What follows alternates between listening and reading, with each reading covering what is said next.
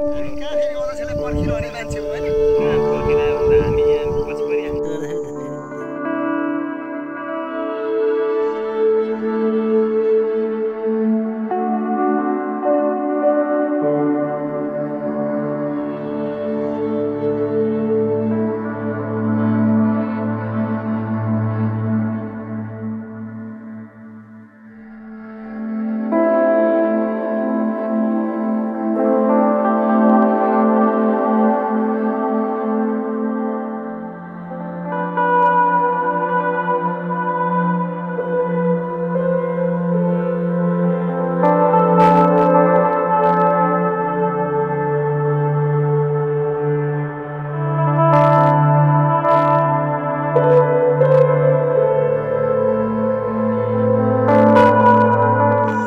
छ यो आजभन्दा लगभग तिन वर्ष लगभग मलाई थाहा भएको छ तिन वर्ष अगाडिदेखिको चाहिँ यो यो काम चाहिँ सुरु भएको चाहिँ मैले थाहा पाएको छु। र यो अहिलेसम्म कम्प्लिट पनि भएको छैन यो यत्तिकै लथालिङ्ग अवस्थामा छ यो।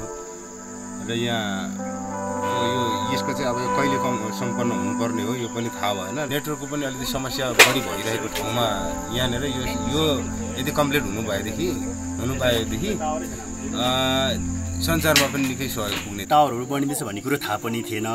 अब अस्ति यसो साथीभाइ गाउँको दाइहरू यसो घुम्न हेर्न आएको थियो। यो चाहिँ पुरा लथालिङ्गै देखियो है।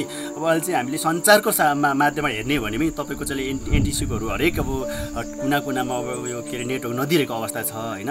अब यहाँ चाहिँ हाम्रो माननीय अब सञ्चारमन्त्री सेदन राई उहाँकै पालोमा चाहिँ उहाँकै नेतृत्वमा चाहिँ यो चाहिँ सुरु भएको भन्ने कुरा हामी सुनिन्छ।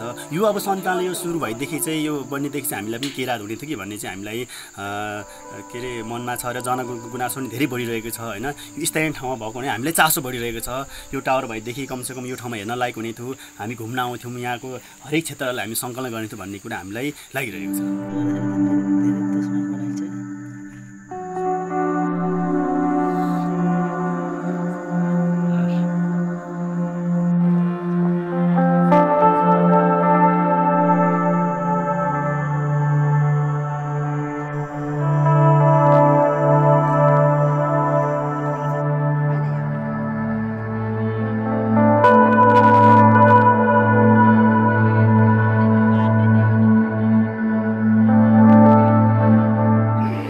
मैले पाएको जानकारी अनुसार त गएकै आर्थिक वर्ष काम सकिनु पर्थ्यो।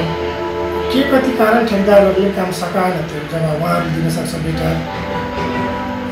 पछि हामी तकेदा गर्दाखेरि आज भोलि हुँदा हुँदै यो आर्थिक वर्ष बित्यो।